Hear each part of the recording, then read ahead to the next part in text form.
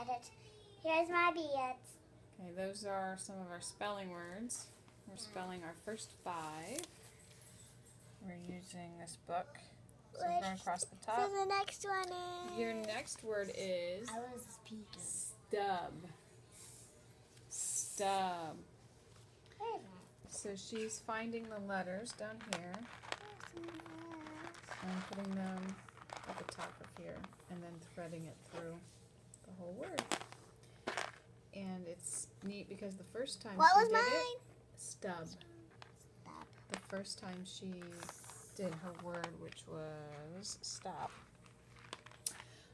she threaded it backwards. So we had to take it off and redo it. So now it's making me realize that she's getting practice with fine motor skills because she's having to thread um, holding the string with her left hand and she is right handed. So she's getting some practice doing that. Do you know what the T is?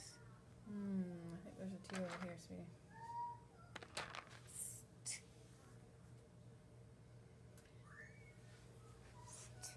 So, we're just making a strand with our vocabulary words. Uh, So we have stop, clap, step, swim, and now step. And we're just putting one of um, these pony beads in between. um. So I don't know how many words we'll actually be able to spell on one strand, but we'll spell what we can for this unit's words. We'll see how we do. Um, You this see book, a B. you have to look, sweet, I'm not sure what it is. Here's a B.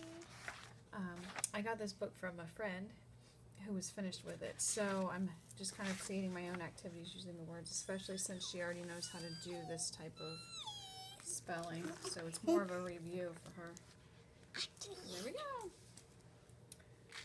That is a fun activity, and, and I remember I got.